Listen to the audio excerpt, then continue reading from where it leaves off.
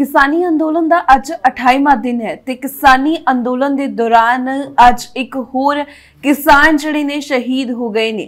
ਦੱਸਦੀ ਹੈ ਕਿ ਕਿਸਾਨ ਨੂੰ ਜਿਹੜਾ ਹੈ ਉਹ ਸਾਹ ਲੈਣ ਦੇ ਵਿੱਚ ਲਗਾਤਾਰ ਦਿੱਕਤ ਆ ਰਹੀ ਸੀ। ਇਸ ਕਾਰਨ ਰਜਿੰਦਰਾ ਹਸਪਤਾਲ ਦੇ ਵਿੱਚ ਉਹਨਾਂ ਨੂੰ ਦਾਖਲ ਕਰਵਾਇਆ ਗਿਆ ਤੇ ਇਲਾਜ ਦੌਰਾਨ ਉਹਨਾਂ ਨੇ ਦਮ ਤੋੜ ਦਿੱਤਾ।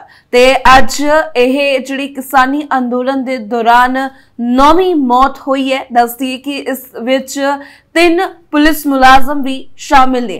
ਲਗਾਤਾਰ ਕਿਸਾਨ ਜਿਹੜੇ ਨੇ, ਖਨੌਰੀ ਤੇ ਸ਼ੰਭੂ ਬਾਰਡਰ ਦੇ ਉੱਤੇ ਆਪਣੀਆਂ ਮੰਗਾਂ ਨੂੰ ਲੈ ਕੇ ਅੜੇ ਹੋਏ ਨੇ।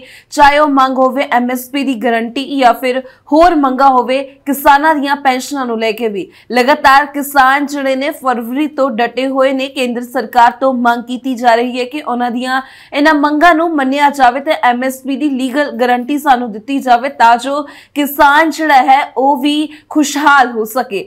ਲਗਾਤਾਰ ਕਿਸਾਨ ਜਿਹੜੇ ਹੈ ਸੰਘਰਸ਼ ਇਸ ਵੇਲੇ ਕਰ ਰਹੇ ਨੇ। ਇਸ ਅੰਦੋਲਨ ਨੂੰ ਕਿਸਾਨ ਅੰਦੋਲਨ 2.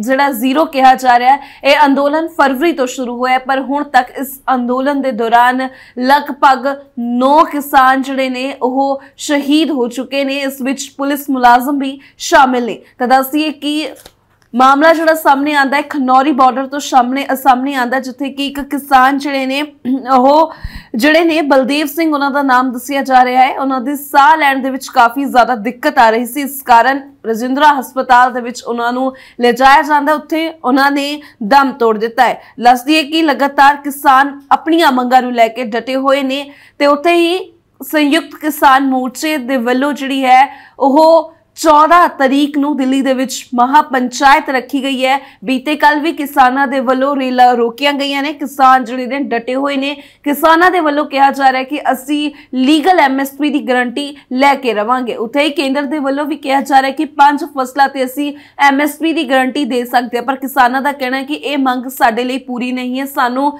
ਸਾਰੀਆਂ ਫਸਲਾਂ ਦੇ ਉੱਤੇ ਲਗਭਗ 23 ਫਸਲਾਂ ਇਹ ਦੱਸੀਆਂ ਜਾ ਰਹੀਆਂ। ਉਹਨਾਂ ਦੇ ਉੱਤੇ ਲੀਗਲ ਐਮਐਸਪੀ ਦੀ ਗਾਰੰਟੀ ਚਾਹੀਦੀ ਹੈ। ਤਾਂ ਇੱਕ ਹੋਰ ਕਿਸਾਨ ਕਿਸਾਨ ਜਿਹੜੇ ਨੇ ਕਿਸਾਨੀ ਅੰਦੋਲਨ ਦੌਰਾਨ ਸ਼ਹੀਦ ਹੋ ਜਾਂਦੇ ਨੇ।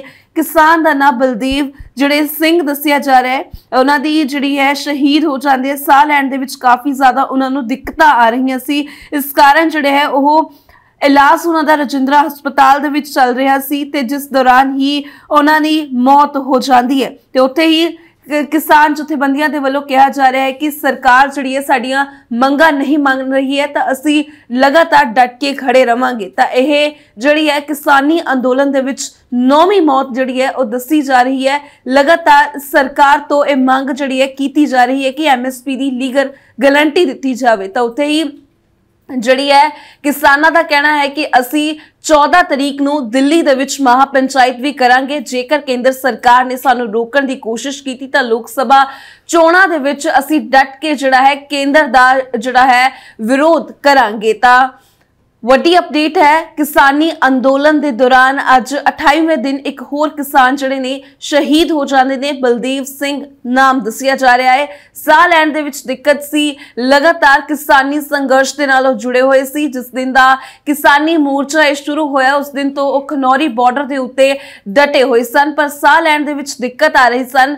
ਇਸ ਕਰਕੇ ਰਜਿੰਦਰਾ ਹਸਪਤਾਲ ਦੇ ਵਿੱਚ ਉਹਨਾਂ ਨੂੰ ਦਾਖਲ ਕੀਤਾ ਜਾਂਦਾ ਪਰ ਇਲਾਜ ਦੌਰਾਨ ਉਹਨਾਂ ਨੇ ਦਮ ਤੋੜ ਦਿੱਤਾ ਹੈ। ਉੱਥੇ ਹੀ ਲਗਾਤਾਰ ਕਿਸਾਨ ਕਿਸਾਨ ਜਥੇਬੰਦੀਆਂ ਦੇ ਵੱਲੋਂ ਮੰਗ ਕੀਤੀ ਜਾ ਰਹੀ ਹੈ ਕਿ ਕਦੋਂ ਤੱਕ ਸਾਡੇ ਕਿਸਾਨ ਨੌਜਵਾਨ ਸ਼ਹੀਦ ਹੋਣਗੇ? ਕਦੋਂ ਤੱਕ ਕੇਂਦਰ ਸਾਡੀਆਂ ਮੰਗਾਂ ਜਿਹੜੀਆਂ ਹੈ, ਮੰਗਣਗੀਆਂ? ਕਮੈਂਟ ਦੇ ਜ਼ਰੀਏ ਪ੍ਰਤੀਕਿਰਿਆ ਦੇ ਸਕਦੇ ਹੋ। ਫਿਲਹਾਲ ਹੋਰ ਜ਼ਿਆਦਾ ਜਾਣਕਾਰੀ ਦੇਖਣ ਦੇ ਲਈ ਤੁਸੀਂ ਜੁੜੇ ਰਹੋ ABC ਪੰਜਾਬ ਦੇ ਨਾਲ।